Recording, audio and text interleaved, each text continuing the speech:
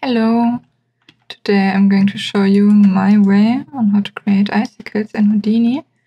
Basically we have three things that we want to keep in mind and this is how we want to distribute them and in my reference they kinda they're longer on the edges and then they they're shorter the more they go in and then we have the clumping here on top and the general shape of the icicles where they are tapering at the bottom and then they have this kind of noise pattern here across the surface.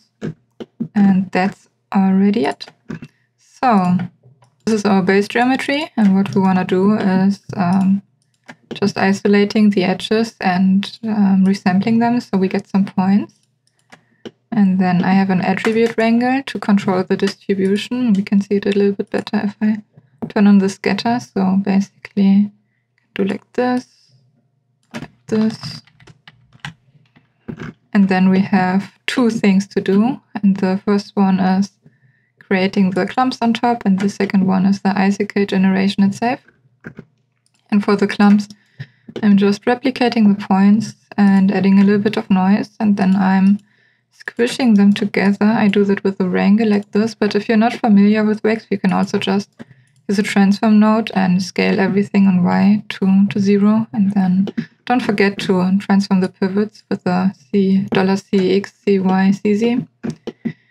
Yeah, I'm, I'm giving it a p-scale and transforming them to VDB from particles. And then to do the icicles themselves, this is uh, where we want to scatter them to. And I replicate the points again. Um, use the same setup as here where I just put it together. And the icicles themselves are very easy.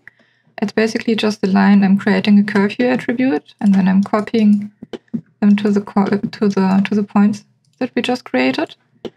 And you can change the length of the icicles with this attribute wrangle setup. If you don't want this, you can just uncheck this one. And to give it a little bit more randomization, I'm using this guide process here. And creating some attributes, a p-scale, and then I'm just sweeping it with some noise.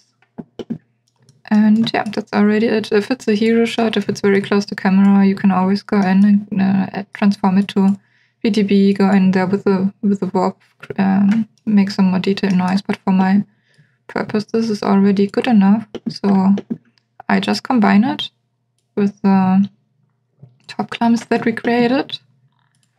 And that's it. That's already our icicle setup check out what we can do with that. Maybe we have a little bit more in the middle.